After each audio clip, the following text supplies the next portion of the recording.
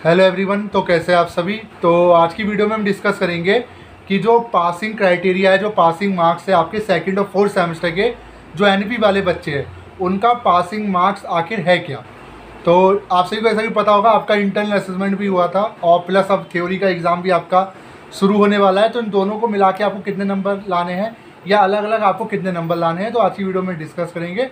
और उससे पहले आपसे मैं एक ही चीज़ बोलना चाहूँगा कि अगर आप चैनल पर नए हो तो चैनल को सब्सक्राइब ज़रूर कर ले, वीडियो अच्छी लगे लाइक करना शेयर करना मत भूलना। तो देखिए, एक चीज़ मैं आपको क्लियर कर देता हूँ, जितने भी ये वीडियो सिर्फ़ एन वाले बच्चों के लिए बनाई जा रही है, बाकी कोई भी स्टूडेंट जिन्होंने 2022 से पहले एडमिशन लिया है, वो इस वीडियो को ना देखें। ये वीडियो अभी उन स्टूडेंट के लिए जो अभी करंट में सेकंड और फोर्थ सेमेस्टर से हैं, जो एन वाले बच्चे 2022 और तेईस बैच के जो स्टूडेंट हैं। तो देखिए, पहले तो मैं इंटरनल असेसमेंट की बात कर लेता हूँ। इंटरनल असेसमेंट का तो सबको ही पता है, खेल क्या चल रहा है। लॉगिन में प्रॉब्लम, बच्चा जाता है आपका नॉर्थ कैंपस नॉर्थ कैंपस में जाने के बाद फिर जब वापस आता है, फिर दो ही पोर्टल पे प्रॉब्लम शुरू हो जाती है। ये तीन से चार रीज़न की वजह से होता है, या तो आप डिटेल गलत डाल रहे हो, या तो वेबसाइट यूज़ कर रहे हो गलत है, या आपने कोई एरर डाला हुआ जिसकी वजह से आपका जो है पोर्टल लॉगिन नहीं हो पाता। तो उसके लिए मैं एक ही चीज़ कहूँगा पासवर्ड फॉरवर्ड कीजिए, अगर आपका अकाउंट भी डिसेबल हो जाता है, ठीक है? तो ये चीज़ें क्लियर हो गई। अब सबसे बड़ी बात, सर पासिंग मार्क्स आखिर है क्या? क्योंकि काफ़ी ऐसे स्टूडेंट हैं जिनका इंटरनल असेसमेंट अच्छा नहीं गया। अभी तो मैं एक स्टूडेंट का देख रहा था, वो स्टूडेंट ने एक मेल मेल किया हुआ था। तो वो ये भी बोल रहा था कि, सर, मैंने चैट जीपीटी से अपने आंसर किए हैं, पर उसके बावजूद भी नंबर काफ़ी कम आ रहे तो इस चीज़ को लेकर भी काफ़ी ज़्यादा स्टूडेंट परेशान है। तो मैं आपसे एक चीज़ कहना चाहता हूँ कि पासिंग मार्क्स आज मैं आपको अच्छे से समझा देता हूँ। फिर मुझे लगता है उसके बाद आपको फिर प्रॉब्लम नहीं होगी। देखिए सिंपल सी कहानी है इस पासिंग क्राइटेरिया को लेके। फोर्टी परसेंट आपको लेकर आना है। जी हाँ फोर्टी परसेंट क्या सर, वो फोर्टी परसेंट हमें असेसमेंट में लेकर आने हैं या थ्योरी के एग्ज़ाम में लेकर आने हैं? तो मैं आपको बार बार चीज़ को बोल देता हूँ।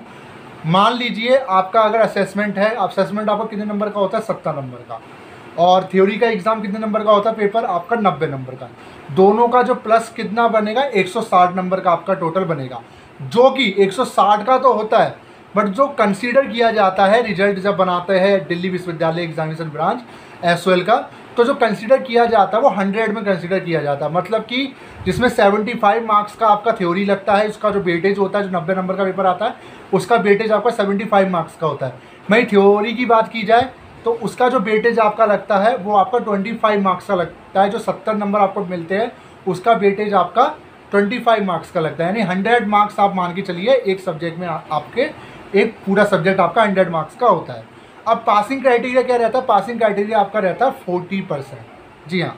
अब ये जो फोर्टी परसेंट है, या तो आप इंटरनल असेसमेंट में लेकर आ रहे हो, या आप थ्योरी में लेकर आ रहे हो। बट दिल्ली विश्वविद्यालय जब आपका रिज़ल्ट तैयार करता है तो आपके द्वारा जो भी इंटरनल असेसमेंट में जो नंबर आए प्लस जो थ्योरी में नंबर है, उनको ऐड कर देता है।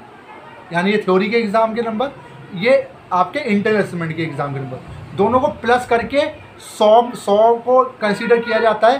फिर सौ में से, इन दोनों में आपने मान लीजिए, मैं आपको एक हिंट दे देता हूँ।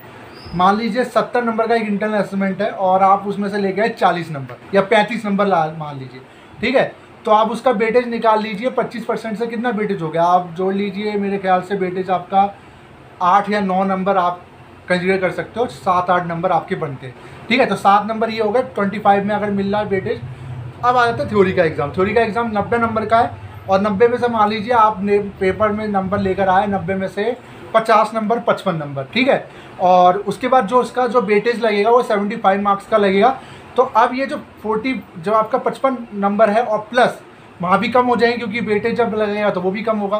तो इन दोनों को ऐड कर दिया जाता है। जैसे ये ऐड होते हैं तो दिल्ली विश्वविद्यालय कहता है कि इन दोनों को मिला के आपको 40 परसेंट नंबर लेकर आने हैं अगर आपको उस सब्जेक्ट को क्लियर करना है तो। अब ऐसी कंडीशन में अब उन स्टूडेंट का क्या?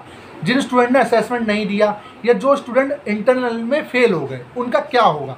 इसको भी लेकर मैं आपको अच्छे से समझा देता हूँ। देखिए, पहले एक चीज़ आपको समझनी होगी। एक्चुअली जो ये मार्कशीट आती है ना, जो दिल्ली विश्वविद्यालय की जो एग्ज़ाम मार्कशीट आती है रिज़ल्ट आता है, इसमें प्रैक्टिकल और आपका ट्यूटोरियल करके एक सेक्शन होता है, जैसे टी यू पी आर कहते हो, वो आपका ट्यूटोरियल होता है, एक प्रैक्टिकल होता है। जबकि ये दोनों चीज़ें ही एस के अंदर है ही नहीं। ना तो प्रैक्टिकल है, ना ही ट्यूटोरियल है। तीसरा आपका टी एच होता है, जो कि थ्योरी का ग्रेडिंग बताता है। बट कई पेपर सब्जेक्ट में आप देखोगे कि जो थ्योरी का सेक्शन अगर बच्चे थ्योरी भी दिया होगा तो सेक्शन जो है, वो आपका ब्लैंक रहता है। एक्चुअली होता क्या है, दिल्ली विश्वविद्यालय करता क्या है, क्योंकि इसमें प्रैक्टिकल ट्यूटोरियल तो होते नहीं है। तो वो थ्योरी के एग्ज़ाम के नंबर प्लस प्रैक्टिकल आपका असेसमेंट के नंबर इन्हीं को जोड़ के या तो ट्यूटोरियल में डाल देता है या प्रैक्टिकल में डाल देता है, इसकी जानकारी नहीं है कि वो किस को प्रैक्टिकल में कंसिडर करता है और किसको ट्यूटोरियल में करता है। अब मान लेते हैं वो स्टूडेंट जिसने इंटरनल असेसमेंट नहीं दिया, मैं सारी बात करूँगा वीडियो थोड़ी सी लंबी हो जाएगी, अच्छे से समझ पाओगे। मान लीजिए वो स्टूडेंट जिसने आपका इंटरनल असेसमेंट नहीं दिया, अब मान लीजिए उसने अपना थ्योरी का एग्ज़ाम दिया थ्योरी का एग्ज़ाम उसका काफ़ी अच्छा गया, अब क्या होगा? अब जब उसकी ग्रेडिंग होगी, वो भी हंड्रेड में से ही होगी, ये मैं आपको बता दे रहा हूँ, देखिए क्योंकि ऐसा कहीं रूल नहीं है कि अगर आपने इंटरनेसमेंट नहीं दिया तो आप फेल हो जाओगे। नहीं। थ्योरी का एग्ज़ाम आप देकर आए हो। थ्योरी के एग्ज़ाम में अगर आप फोर्टी परसेंट लेकर आ रहे हो, चालीस नंबर से अगर ज़्यादा लेकर आ रहे हो फोर्टी परसेंट अगर आप कंसिडर कर रहे हो हंड्रेड में से, और सेवेंटी फाइव में से भी अगर आप फोर्टी परसेंट लेकर आ रहे हो ऐसी कंडीशन में, आप उस सब्जेक्ट में पास हो जाओगे। बेशक अगर आपने इंटरनेसमेंट दिया हो या नहीं दिया हो। अब आप उसे इंटरनेसमेंट भी कंपलसरी क्यों है? तो देखिए सिंपल सी बात है, मान लीजिए अगर आप थ्योरी में फेल हो रहे होगे तो ये जो इंटरनेसमेंट है ना, ये आपको बचा लेगा, क्योंकि दोनों ऐड कर लेगा। मान लीजिए थ्योरी में आपके नंबर तीन नंबर से आप रह रहे हो फोर्टी परसेंट से बट इंटरनेसमेंट के जो नंबर है, वो मान लीजिए उसके दस नंबर आपको मिल गए तो इसमें ऐड हो गए। तो इससे क्या होगा आपका फोर्टी परसेंट से ऊपर आ गया आप उस सब्जेक्ट में निकल गए। अब अब काफ़ी स्टूडेंट कहते हैं कि, सर, फिर ऐसा क्यों होता है कि मान लीजिए हम थ्योरी में पास हो गए और इंटरनल में या पी में हमारा एफ़ आ गया, या आपका टी यू में हमारा एफ़ आ गया, इससे क्यों होता है?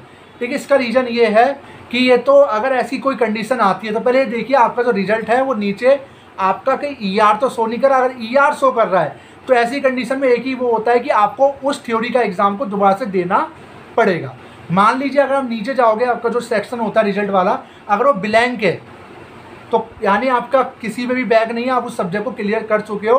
बेशक आपके पीआर और टीएच में अगर ऐप दिखा रहा हो, इसका मतलब है कि आप हो सकता है कि इंटरनल में आप फेल हो गए हो? अगर उसको हटवाना है तो आप या तो उसका जो री इंटरनेसमेंट है, वो आपके पोर्टल में शो कर जाएगा अगर आप एलिजिबल हो गए नेक्स्ट सेमेस्टर के साथ। वरना आप उसका री एग्ज़ाम अगर दोगे तो वो जो ऐप है वो हट जाएगा। बाकी मेरा यही कहना है कि अगर आप उस सब्जेक्ट को क्लियर कर चुके अगर ई e नहीं है नीचे तो उसको इग्नोर कर दीजिए, ठीक है? अब सबसे बड़ी चीज़ जो मैं आपको समझाने वाला हूँ, सर मैंने इंटरनल असेसमेंट नहीं दिए, मैं पोर्टल लॉगिन नहीं कर पाया। अगर मैं थ्योरी में अच्छा देता हूँ, क्या मैं पास हो जाऊँ? जी हाँ पास हो जाओगे। फोर्टी परसेंट नंबर आप लक्ष्य बना के चलिए सेकंड और फोर्थ सेमेस्टर के स्टूडेंट दोनों को मिला के मिलेंगे, जिसने दे दिए है। क्योंकि देखिए, मैं आपको एक चीज़ बता रहा हूँ। एक स्टूडेंट ने बहुत अच्छा इंटरनल असेसमेंट दिया। मैं उसका भी रीज़न बता रहा हूँ। एक स्टूडेंट ने बहुत अच्छा इंटरनल असेसमेंट दिया बट पच्चीस नंबर का ही वेटेज है। अच्छा उसने दिया, वो पच्चीस से पच्चीस भी लेकर आ रहा है। बट वो कह रहा है थ्योरी के एग्ज़ाम में वो अच्छा करके नहीं आया, उसमें फेल हो गया। दोनों को जोड़ा गया फोर्टी परसेंट से नीचे रहा। ऐसी कंडीशन में आप उसको पेपर दोबारा से देना पड़ेगा। भाई इंटरनल में वो पास है। अगर आप थ्योरी में पास हो जाते हो इंटरनल में फेल है। अगर दोनों को मिलाकर अगर फोर्टी परसेंट से नीचे रहता है, ऐसी कंडीशन में आपका ई e आता है ऐसी कंडीशन में आपको वो थ्योरी वाला जो ई e का पेपर है, वो आपको देना पड़ जाएगा, अगर आपका ई e आता है। ईआर आने का सिंपल रीज़न यही है कि आप थ्योरी के पेपर में साफ़ साफ़ फेल हो। अब ये मत कहना, सर, मेरे पीआर में एफ़ है या टीयू में एफ़ है तो मैं प्रैक्टिकल क्योंकि इसकी जानकारी नहीं है। कि ये जो दिल्ली विश्वविद्यालय है, ये असेसमेंट और थ्योरी के एग्ज़ाम को पीआर में इंक्लूड कैसे करता है और आपको ट्यूटोरियल में कैसे करता है, इसकी जानकारी नहीं है। उनकी कैलकुलेशन वही जाने, बाकी मैंने आपको बता दिया कि दोनों को मिला के करोगे तो हंड्रेड में से फोर्टी परसेंट है, अगर सिंगल से करोगे तो सेवेंटी फाइव में से आपके फोर्टी परसेंट बनेंगे बट फोर्टी परसेंट आपको लेकर ही आने हैं। इतना आप नोट करके रख लीजिए, या चाहे दोनों को मिला लीजिए। अगर आप अकेला एक पेपर दे रहे हो अच्छा करके आइए, निकल जाओगे इंटरनल असेसमेंट की ज़रूरत नहीं है और जिसमें इंटरनल अगर आपने वो एग्ज़ाम नहीं दिया इंटरनल असेसमेंट का तो नेक्स्ट सेमेस्टर में वो जो ई e वाला असेसमेंट है वो आपका शो हो जाएगा और ईवन के बेस पे, ठीक है? तो बस इतना ही था इस वीडियो में। वीडियो कैसे लगी जो बताएगा।